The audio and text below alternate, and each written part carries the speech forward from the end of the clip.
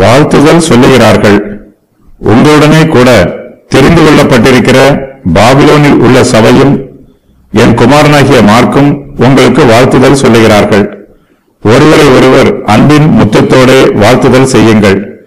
கிறிஸ்து இயேசுவுக்குள்ளான உங்கள் அனைவருக்கும் சமாதானம் உண்டாவதாக ஆமேன். அப்போ சிலர் பேதரு விசுவாசிகளுக்கு வாழ்த்துதல் சொல்லி இந்த நிறுவத்தை நிறைவு செய்கிறார். இந்த நிருபத்தின் முடிவில் அவர் விசுவாசிகளுக்கு அப்போஸ்தல ஆசீர்வாதம் சொல்லுகிறார். விசுவாசிகளுக்கு வாழ்த்து சொல்லும்போது மார்க்குவினுடைய பெயரையும் விசேஷமாக சேர்க்கிறார். பேதரு இந்த நிருபம் எழுதும்போது மார்க்கு அவரோடு கூட இருந்தார். பேதரு மார்க்குவை பற்றி சொல்லும்போது என் குமாரனாகிய மார்க்கு என்று சொல்லுகிறார். மார்க்கு மெய்யாகவே பேதருவின் ஆவிக்குரிய குமாரன். பேதருவும் மார்க்குவின் ஆவிக்குரிய தகப்பன். கிறிஸ்துவின் சபையார் எல்லோரும் ஒருவருக்கொருவர் அன்புள்ளவர்களாய் இருக்க வேண்டும். ஒருவர் பாரத்தை ஒருவர் சுமக்க வேண்டும். ஒருவருக்கொருவர் ஜெபிக்க வேண்டும்.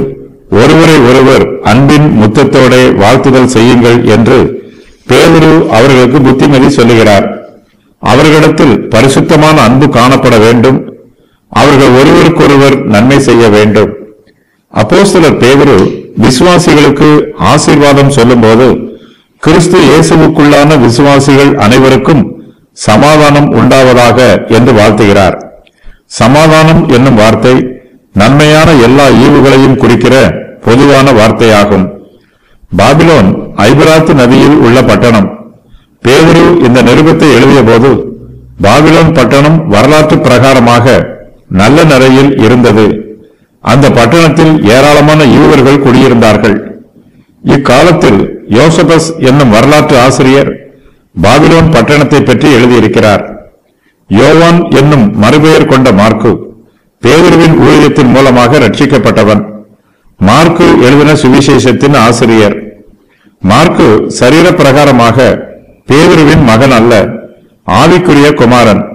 தீமுத்தேயுவும் தீத்துவும் பவுலுக்கு ஆவிக்குரிய குமாரர்களாக இருந்தது போன்று மார்க்கு பேதுருவின் ஆவிக்குரிய குமாரனாக இருந்தான்.